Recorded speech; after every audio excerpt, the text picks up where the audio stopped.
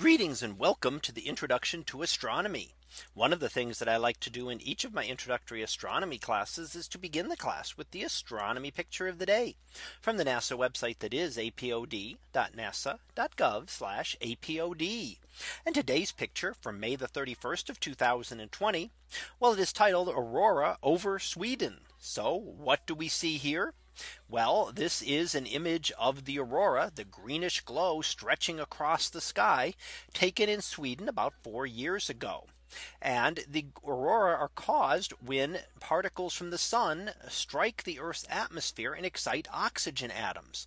So oxygen atoms, not oxygen molecules, which are two oxygen atoms bound together like the oxygen we breathe, but single oxygen atoms in the upper Earth's atmosphere when they are excited will give off a distinct green glow. Very similar to what we often see for the red glow of hydrogen in various nebulae out in space.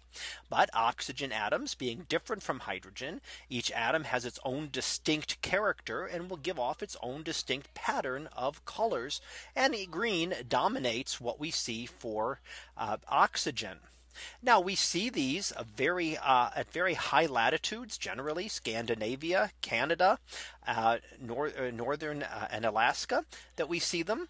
So that occurs because they are caused by charged particles from the sun, which provides the energy. But charged particles are deflected by the Earth's magnetic field. So when we get an outburst from the sun, such as a solar flare or a coronal mass ejection, they will travel to the they will travel towards the earth in some cases and strike the earth's magnetic field. Now charged particles aren't good at crossing magnetic fields. So they follow along those until they enter the earth's atmosphere, which would be at the places close to the poles, either the north magnetic pole or the south magnetic pole. And once they do that, that's where they strike the atoms in the earth's atmosphere atmosphere and cause it to glow. So that's why we see the aurora in these northern regions, but do not see them generally in equatorial or tropical regions. That's not where the Earth's magnetic field will allow the particles to pass through. Now you can see in this image also that the aurora is just a glow in the sky. It is not cloud cover. It does not block out anything behind it. Look carefully. You can easily see constellations and stars visible through the aurora. Even the brightest parts of the aurora will still allow some of the stars to be seen through it.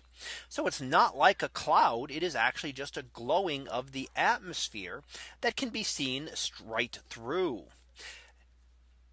And in fact, if you're having trouble identifying any of the stars or constellations in this image, you can just move the mouse over the image and it will actually annotate them for you. And you can identify things like Polaris towards the top center of the image Ursa Major on the left hand side at the top and Draco on the right hand side at the top and even things like the Andromeda galaxy down below are noted in here. So various different objects that you are able to see uh, all the constellations are identified for you if you move the mouse over the image.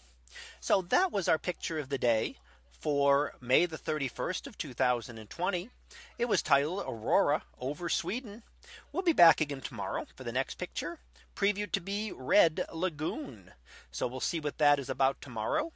And until then, have a great day, everyone, and I will see you in class.